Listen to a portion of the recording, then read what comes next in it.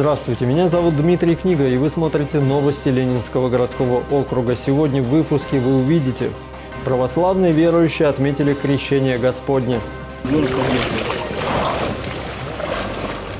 Ветерану Великой Отечественной войны Евгении Владимировне Белоноговой исполнилось 100 лет. Вот это поздравление, это письмо. Примите, пожалуйста. Видновский танцевальный клуб «Фокус» стал призером престижнейшего соревнования «Кубок сильнейших».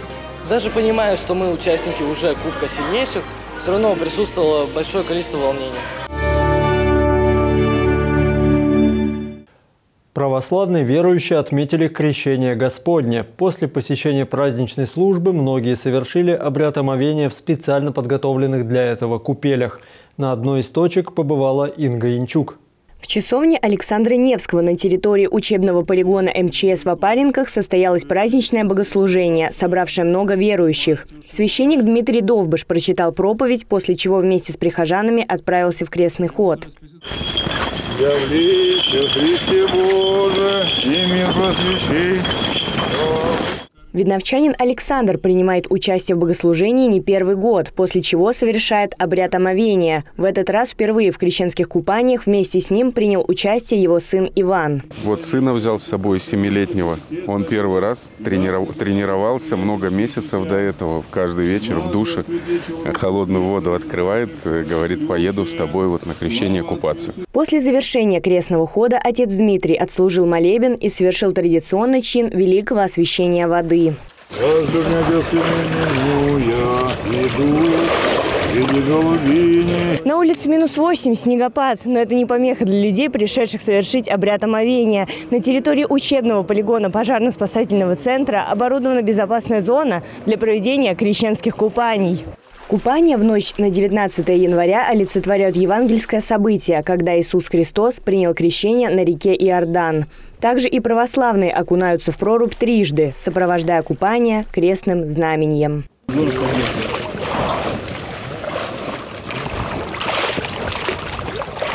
Для кого-то это дань традиции, для кого-то возможность испытать силу духа и организм. Видновчане после купания в ледяной воде чувствуют бодрость и радость. Как ощущения? Хорошие.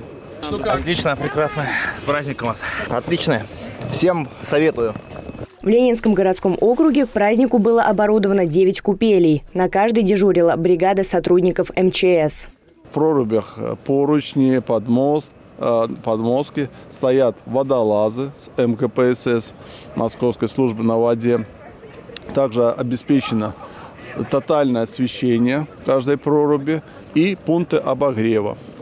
После омовения в специально оборудованных помещениях люди смогли переодеться, а также выпить горячего чая. Но православного человека в крещение прежде всего согревает вера.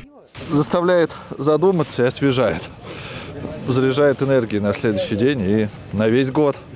Это даже, наверное, лучше, чем Новый год. Это наш праздник христианский. Александр с сыном после купаний также согревались горячим чаем. Ребенок доволен, что впервые окунулся в прорубь. Как у тебя ощущения? Хорошо. Понравилось? Да. Еще будешь ездить? Да.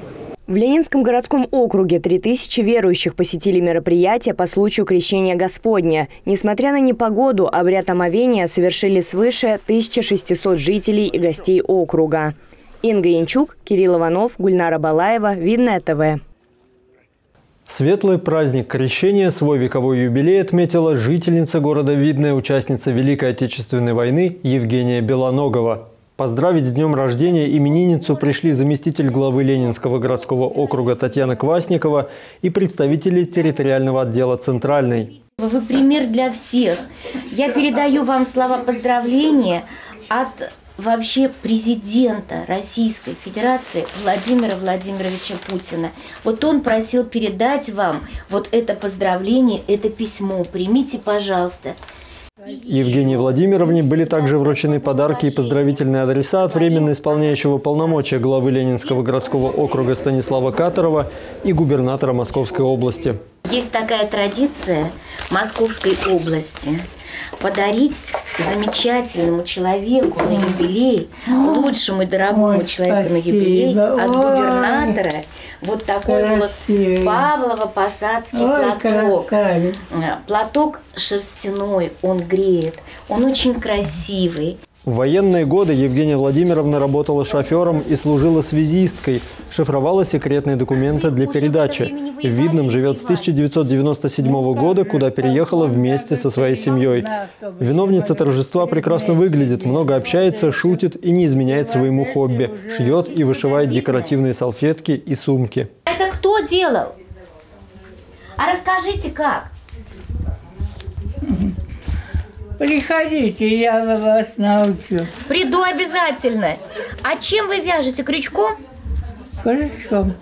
Вяжешь э, э, основание, потом идешь вот такими петельками. Яркая, нарядная. Глядя на Евгению Белоногову, трудно поверить, что ей исполнилось сто лет. Видновский танцевальный клуб «Фокус» стал призером престижнейшего соревнования «Кубок сильнейших». Это уникальный проект, организованный под эгидой Всероссийской Федерации танцевального спорта, брейкинга и акробатического рок-н-ролла. Сколько ребятам пришлось приложить сил, чтобы войти в число призеров, узнал Максим Козлов. Ручки до конца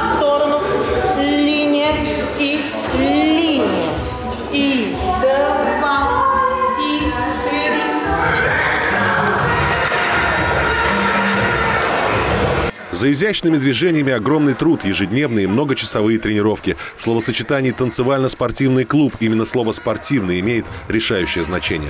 Мы зарегистрированы в Федерации танцевального спорта России, в Союзе танцевального спорта Московской области а, с 2016 года. И спортсмены являются официальными представителями нашего региона, а, получают разряды а, мастеров спорта, кандидатов в мастера спорта и, соответственно, и другие. Танцевально-спортивный клуб «Фокус» был организован в 2016 году. За это время здесь смогли обучиться танцам порядка 600 человек. Воспитано несколько спортсменов международного класса. Иногда бывает жестко, бывает э, болят э, мышцы абсолютно все, э, бывает усталость постоянная, бывает все, но мотивация для любого спортсмена – это его результат на соревнованиях. Поэтому дети понимают, чем они жертвуют. Практически все свободное время дети проводят в зале, тренируются ради результата. Теперь в копилке наград танцевально-спортивного клуба «Фокус» еще один трофей. Второе место в престижных соревнованиях «Кубок сильнейших». Название говорит само за себя. В уникальном проекте после жесткого отбора приняли участие лишь 16 лучших российских команд. Даже понимая, что мы участники уже Кубка сильнейших, все равно присутствовало большое количество волнения. И как с ним боролись? Э, никак. Старались поддерживать друг друга и все. Войти в тройку призеров нашим ребятам помогла не только подготовка, но и воля к победе и искренняя любовь к тому, чем занимаешься. Танцы – это моя жизнь. Я живу этим процессом. Я не могу без танцев. Э, всегда прихожу на тренировку с удовольствием. Мне нравится заниматься. Э, физическая нагрузка, атмосфера, вот все просто. Участники показали свои умения в различных номинациях. По итогам соревнований в командном зачете видновчане взошли на вторую ступеньку подиума. Все очень ответственно подошли к мероприятию. Э, никто даже близко не подошел к этому спустя рукава. Все были стопроцентно готовы. А то, что не выиграли первое место, ну, мы проиграли очень достойной команде. И очень-очень-очень достойную команду мы выбили в полуфинале попав тем самым в финал. Поэтому э, будем дальше работать, чтобы в следующем году выиграть. И можно быть уверенными, и ребята, и их наставники приложат для этого все усилия. Танцоры клуба «Фокус» – неизменные участники различных городских мероприятий, что также помогает поддерживать спортивную форму. Кроме того, клуб ведет активную работу в социальной сфере. В рамках дополнительного образования любой ребенок может заниматься совершенно бесплатно, а также мы а, помогаем детям, чьи родители участвуют а, в специальной военной операции. Эти занятия проходят совершенно бесплатно, поэтому мы приглашаем всех с удовольствием а, в нашу семью танцевальную. Оценить мастерство спортсменов из клуба «Фокус» жители Ленинского округа смогут на чемпионате Московской области по танцевальному спорту, который пройдет 27 сентября во Дворце спорта «Видное». Приходите поболеть за наших. Максим Козлов, Александр Логинов, Гульнара Балаева. Видное ТВ. В библиотеке «Зеленой аллеи» состоялось занятие арт-студии под руководством преподавателя Анны Титовой. На котором дети создавали картины из пластилина. Все подробности в сюжете Юлии Стаферовой. Библиотека в жилом комплексе «Зеленый аллей» наполнена не только книгами, но и творческой атмосферой. В ней регулярно проводят разные занятия. С октября прошлого года открыли арт-студию для детей от 5 до 7 лет. Занятия проводит дизайнер Анна Титова. Под ее руководством дети делают поделки из пластилина, рисуют картины, делают иллюстрации и аппликации. Здесь дети творцы, мы просто им их поддерживаем. У нас нет плохих работ, некрасивых работ. Все классные. И, соответственно, ребенок накапливает э, знания, умения и обязательно где-то выстрелит в творческом плане. Такие занятия помогают детям развиваться интеллектуально, эмоционально, творчески и социально. Благодаря урокам ребята могут научиться работать в команде, а также расширить кругозор, улучшить память, навыки общения и концентрацию внимания. Родители, чьи дети посещают арт-студию в библиотеке, благодарны организаторам творческого досуга. Сам преподаватель э, очень симпатичная, но она как бы творческий подход к детям, она очень добродушная. Ну и то, что она делает с детьми, это очень красиво, поэтому мы здесь. Плюс э, ко всему вот само место, оно тоже располагает и к творческим занятиям. Ну, вот такая атмосфера, ну, тут и книги стоят, очень уютно, и ну, руководитель тоже. Ну, то есть очень спокойно, мило, приятно, поэтому мы здесь. Э, ребенок всегда получает удовольствие, поделки красивые приносят, соответственно, мы всегда этому очень радуемся.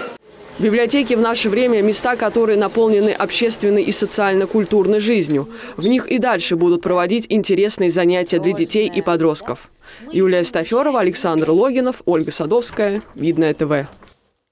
В рубрике «Афиши выходного дня» мы расскажем вам о том, как можно интересно провести выходные. Начать активно субботу 20 января можно будет в парке Опаренки, где состоятся бесплатные любительские забеги и заезды на лыжах в рамках проекта «Не паркран». Сбор в 8.50 утра у деревянного подиума. 21 января в воскресенье в деревне Горки на трассе Казачий дозор пройдет очередной этап соревнований по гонкам на выживание. Начало в 12.00. Приходите поболеть за пилотов-экстремалов. А любители спокойного отдыха могут посетить в 12.00 в воскресенье Тимоховский парк. Здесь пройдут множество игр и зимних забав для детей и их родителей. В 16.00 в Расторгуевском парке состоится развлекательная программа «Игры и пляски с клоуном Алексом». Кроме того, здесь пройдут образовательные и творческие мероприятия для самых маленьких. Желаем вам хороших выходных! На сегодня это все. Всего доброго и до свидания.